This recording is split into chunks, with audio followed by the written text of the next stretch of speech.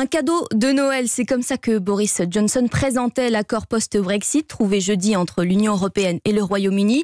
Un divorce qui aura des conséquences concrètes sur le quotidien des Français expatriés de l'autre côté de la Manche. L'accord prévoit notamment de limiter la circulation des personnes.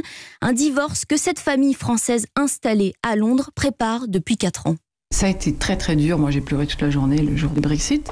Mais je m'y suis préparée. J'ai fait ma demande de résidence. Ensuite, j'ai fait ma demande de nationalité. J'ai décidé de rester et de m'intégrer. Rester, supporter les lourdeurs administratives et demander son passeport britannique. Après 19 ans de vie outre-Manche, Florence a passé le pas. Le Brexit l'y a poussé, elle, puis sa fille, Alessia. Beaucoup de Français ont vu leur emploi relocalisé. Donc beaucoup de Français sont déjà partis. Il y avait aussi un sentiment de frustration pour les familles françaises qui sentaient qu'elles n'avaient plus leur place en Angleterre. Il fallait choisir son camp et c'est tout leur environnement qui s'est métamorphosé avant même que la sortie du Royaume-Uni soit effective. Moi j'ai 23 ans et je pense que je suis la dernière génération des Français qui partent pour trouver un stage et pour trouver un premier emploi en Angleterre. Et c'est un peu la fin d'une ère. Impossible de prévoir une suite, de mesurer les conséquences de l'accord. Là, on est un peu encore dans l'obscurité. Moi, je travaille dans l'éducation supérieure.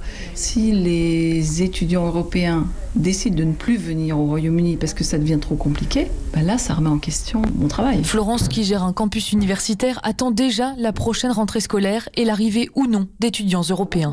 Londres, Marion Gauthier, Europe 1. Et notez qu'une nouvelle réunion est prévue ce lundi hein, pour démarrer la signature de l'accord avec les États membres.